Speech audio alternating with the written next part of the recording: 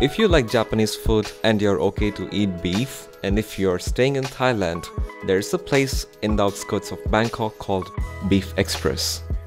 It is the one-of-a-kind restaurant that I have ever been to.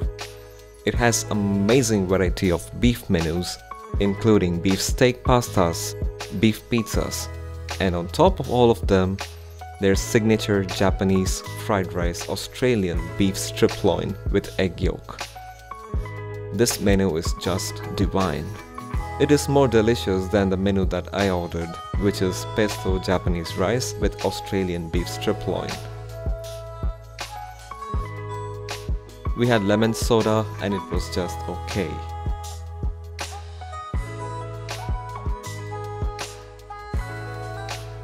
The highlight of this restaurant is that it is clean, well situated, and the food is just delicious. If you are staying in Thailand and if you're a foodie, this is a restaurant you must not miss out.